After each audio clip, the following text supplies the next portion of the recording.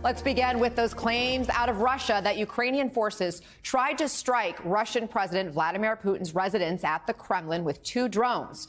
Now, Russia provided no evidence. Ukraine is denying any role. Let's get right to NBC News chief foreign correspondent Richard Engel and retired Lieutenant General Steph Twitty. Richard, these are unproven claims coming from Russia, not backed by evidence right now. What more do we know about the situation right now? So we know there are quite a few videos, and uh, our social media verification team here in London has been poring over these videos, and their job is to troll the internet, and they do that every single day to look at videos, try and understand what happened, trying to see if, if they're real or not. And generally, in incidents, what, what happens is you get a video, it catches on like wildfire, and it spreads across the internet. Uh, what happened in this case uh, is not nearly as organic. Um, uh, these times are all in Russia. So the first video came out at or 2:37 local time, Moscow time, and that showed the aftermath, or what, what claimed to be the aftermath of some sort of drone attack against the Kremlin. So you see a little bit of smoke.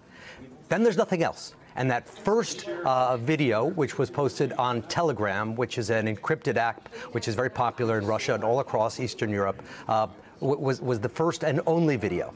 Then there's a 12 hour gap, roughly, in which nothing was posted at all, and then several videos suddenly emerge, uh, almost at the same time, around 3 p.m. local Moscow time. And those videos were of a high quality. They showed the aftermath of this alleged attack and also showed the, the video of the Kremlin before the attack took place and show what appears to be a drone flying at high speed and, and exploding as it impacts or is it about to impact uh, a, a, dome inside the Kremlin compound. And that, uh, that when this second batch of videos came out, again, high quality, they look like they were taken uh, from uh, security camera footage. In, in one of the videos, uh, the best video, you can actually see someone if you zoom in on it uh, using what looks like a cell phone to take video of the uh, security camera video.